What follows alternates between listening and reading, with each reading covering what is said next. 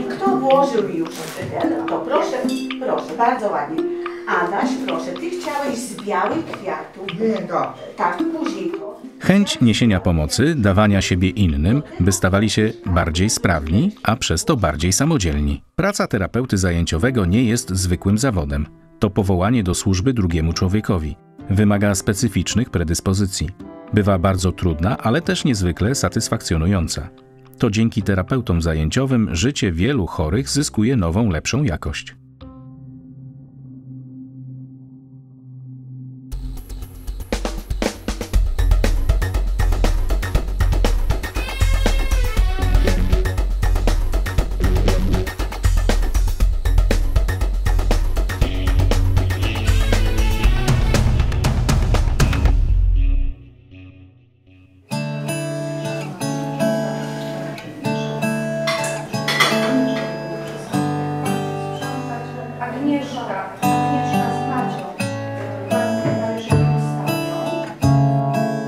Teresa Jakubiak zajmuje się terapią zajęciową od 14 lat. Jak mówi, to nie ona wybrała swój zawód, raczej to on wybrał ją. Początkowo pracowała w szkole, później w domu dziennego pobytu dla seniorów. Zaproponowano jej jednak nowe stanowisko w nowym miejscu jako terapeutka. Zmiana wcale nie była łatwa.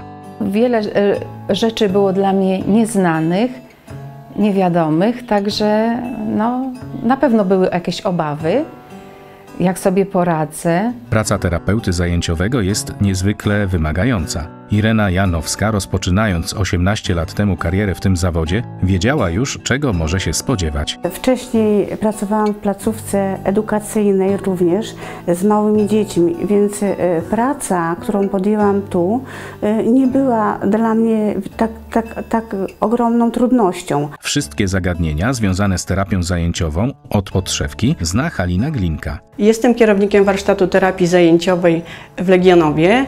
E, Właśnie znajdujemy się w siedzibie tego warsztatu, gdzie 35 osób codziennie korzysta ze wsparcia dziennego i są to osoby niepełnosprawne e, w stopniu umiarkowanym i znacznym. Głównie są to osoby e, z niepełnosprawnością intelektualną i z zaburzeniami psychicznymi. Praca terapeuty zajęciowego polega przede wszystkim na zaplanowaniu, przygotowaniu i poprowadzeniu warsztatów dla podopiecznych. Są to zajęcia praktyczne, rozwijające podstawowe umiejętności. Ja jestem akurat w pracowni kulinarnej, więc przygotowujemy posiłki, robimy zakupy, prace porządkowe wykonujemy, w zależności jaki program właśnie ułożymy sobie e, naszych zajęć.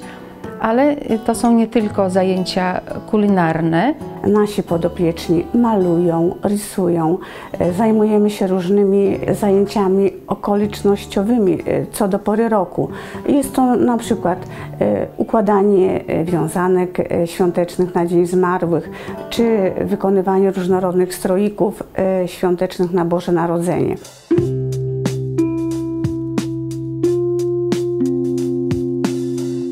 Chociaż zajęcia z pozoru mogą przypominać zabawę, terapeuci cały czas muszą czuwać nad bezpieczeństwem i dobrem swoich podopiecznych. Ta osoba musi być nie tylko wychowawcą, nauczycielem, e, pielęgniarzem czy, pielęgniarką, ale również e, dać poczucie bezpieczeństwa przez okres całego pobytu, czyli 8 godzin, czasami dłużej. Jest to naprawdę ogrom, ogrom zadań. Można powiedzieć, że ta praca jest służbą i misją wobec człowieka chorego.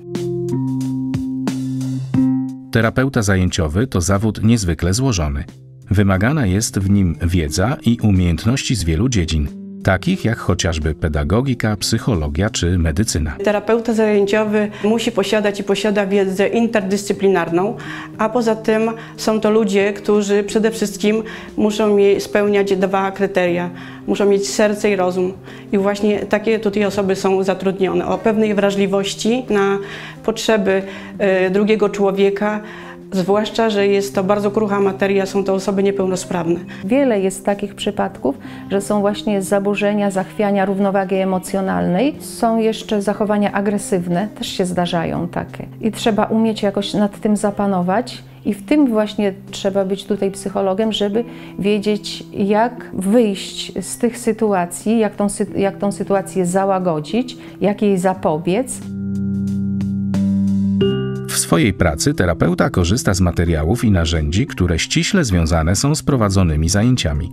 Mogą być więc to pędzle, farby, sztalugi, urządzenia komputerowe albo kuchenne. Kuchnia jest, y, są maszynki jakieś, y, czy są noże, takie nawet y, bardzo proste rzeczy, ale właśnie tu jest bardzo ważna zasada bezpieczeństwa, tego ich uczymy. W tej pracy nie można pozwolić sobie na chwilę dekoncentracji. Nieuwaga może doprowadzić do wypadku. Terapeuta zajęciowy musi być też osobą niezwykle cierpliwą i wyrozumiałą. Komunikacja y, i współpraca z rodzicami nie jest łatwa. Poza tym tempo y, pracy tych osób jest powolniejsze i tempo przyswajania wiedzy i y, tak zwanych widocznych sukcesów jest powolne, więc z tym się trzeba oswoić i na ten sukces nieraz latami trzeba czekać. Jak mówią terapeuci, w tej pracy nigdy nie wolno się poddawać i rezygnować z walki o dobro podopiecznego. Jest to bardzo, bardzo ciężkie zadanie, ale dzięki temu, że w sobie mam dużo cierpliwości, e, staram się jakoś pogodzić te, e, te zadania i moi podopieczni, z którymi współpracuję, e, ciągle mi powtarzają, że tak jakby jestem lekarstwem na ich, na ich chorobę.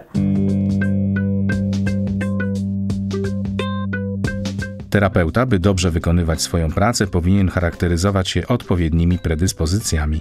Do tych najważniejszych należą bardzo dobre zdolności komunikacyjne, umiejętność pracy w zespole, empatia, życzliwość, kreatywność, zdolności organizacyjne. Terapeuta zajęciowy, by wykonywać swoją pracę, musi posiadać odpowiednie umiejętności, a także wiedzę. Formy kształcenia. Szkoła policealna 2 lata. Kształcenie wyłącznie w szkole dla młodzieży. Egzaminy. Egzamin potwierdzający kwalifikacje w zawodzie. Egzamin zawodowy. W trakcie nauki zdobywa się jedną kwalifikację składającą się na ten zawód. Świadczenie usług w zakresie terapii zajęciowej. Kształcenie w ramach tej kwalifikacji zakończone jest egzaminem zawodowym. Pozytywna ocena z obu części egzaminu, pisemnej i praktycznej, umożliwia otrzymanie świadectwa potwierdzającego wyżej wymienioną kwalifikację. Po ukończeniu szkoły otrzymasz też dyplom potwierdzający kwalifikacje zawodowe. Terapeuta zajęciowy może znaleźć zatrudnienie w wielu placówkach zajmujących się szeroko pojętą opieką nad osobami potrzebującymi pomocy. Możliwości zatrudnienia: oddziały szpitalne, sanatoria, warsztaty terapii zajęciowej, zakłady pomocy społecznej, świetlice terapeutyczne, zawody pokrewne, opiekun medyczny. Terapia zajęciowa to ogromna dziedzina wiedzy. Co więcej, ciągle się rozwija, by lepiej służyć osobom potrzebującym specjalistycznej pomocy. Ciekawostka. Terapia zajęciowa może przybierać nietypowe formy. Jedną z nich jest biblioterapia, czyli terapia z wykorzystaniem książek. Inną ciekawą formą jest poezjoterapia, polegająca na czytaniu, pisaniu i recytowaniu wierszy. Terapia może odbywać się też na łonie natury, na przykład sylwoterapia. To terapia wykorzystująca spacery po lesie. Z kolei talasoterapia to spacery brzegiem morza.